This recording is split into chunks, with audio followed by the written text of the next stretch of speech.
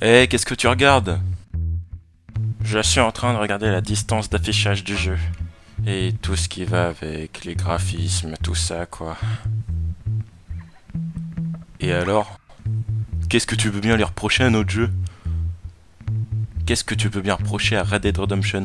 Un jeu qui a été élu jeu de l'année. Pfff, non, mais j'y crois pas.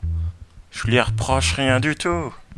Je pense juste aux nouvelles consoles qui vont sortir, les next-gen, avec plein de super bons jeux, genre Watch Dogs, GTA V, Call of Duty, Battlefield 4.